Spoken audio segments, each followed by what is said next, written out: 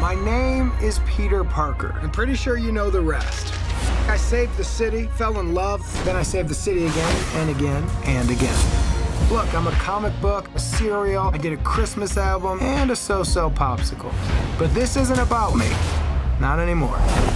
Spider-Man swings in once a day, zip zaps up in his little mask and answers to no one. I love you, Miles. Yeah, I know that. You gotta say I love you back. Dad, are you serious? I wanna hear it. Look at this place. Dad, I love you. Dad, I love you. That's a copy. Ladies and gentlemen. My name is Miles Morales. I'm the one and only Spider-Man. At least that's what I thought. You ever hear of the Super Collider? You're gonna love this. Dimension opening now.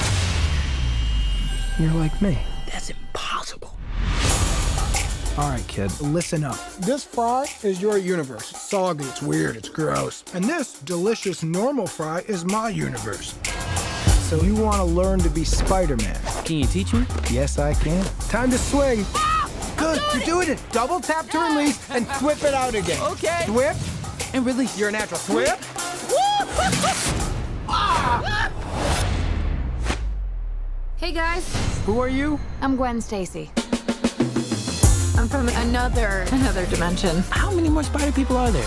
Hey, fellas. Hello. This could literally not get any weirder. It can get weirder. Okay. We need to get back to our universes soon. Brooklyn is gonna collapse. My family lives in Brooklyn. whoa whoa whoa Miles, what's wrong? This was never your city. It's mine. If I don't destroy the collider, none of us will have a home to go home to. Remember, what makes you different Let's go. is what makes you Spider-Man. Officer, I love you. Wait, what? That way, that way. Other way, other way, other way, other way.